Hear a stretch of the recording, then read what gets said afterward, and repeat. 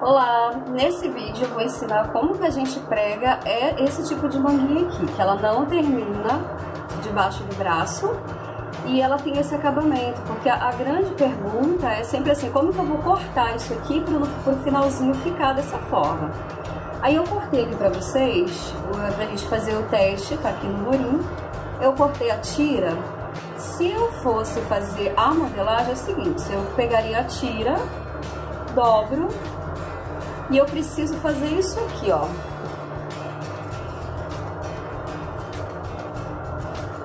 Ó. Com ela dobrada e quando abrir vai ficar, é tipo uma ponta, né? Só que assim, às vezes isso aqui você pode, você pode fazer na máquina de costura. É o que eu vou mostrar pra vocês Aí agora. a gente vai pegar naquela tirinha, olha, sem cortar, tá? Pra facilitar na máquina. Você dobra ao meio e a gente vai franzir.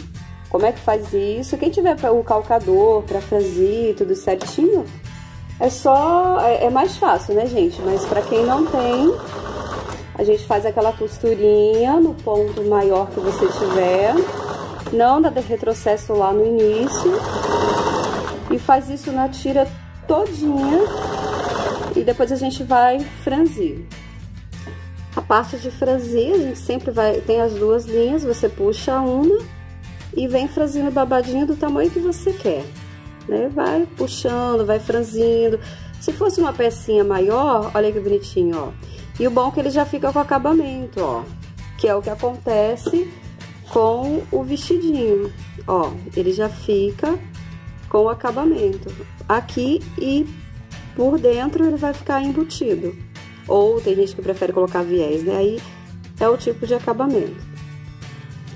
Ó, eu já franzi essa manguinha, tanto para infantil quanto adulto, qualquer babadinho que vocês quiserem, tá, gente? Aí agora a gente vem pra máquina. Aqui é o início da cava, já marquei de onde eu quero, lógico que eu fiz de caneta para visualizar melhor, mas aí em casa você vai é, dar um piquezinho, fazer mais discreto, enfim. Essa pontinha, geralmente, se a gente for colocar retinho aqui, não vai ficar com esse acabamento, certo? Então, o que, que você vai fazer? Vai trazer essa ponta pra cá, vai começar daqui. É bem mais prático, bem mais fácil. Ó, deixa eu fazer agora, passar a costura. Aí você vem pregando ela na sua peça. Ó, vamos lá. Prega até onde você quiser. Eu vou fazer só até metade. O vídeo não ficar muito extenso. Ó. Aí, o que, o que, que vai acontecer aqui, ó?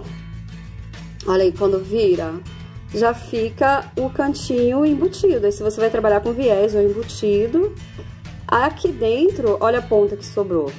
Isso aqui, geralmente, ou você corta, se você tiver numa linha de produção, provavelmente você vai passar um overlock aqui. Então, do jeito que passa o overlock, a costureira já tira. Então, aí a costureira já tira e quando você virar, olha só. É lógico, né, gente? Tô com uma linha colorida pra vocês verem, mas olha aí. Faz o cantinho da peça certinho, viu? E vai fazer esse efeito do vestidinho aqui ou de uma blusa, se você preferir.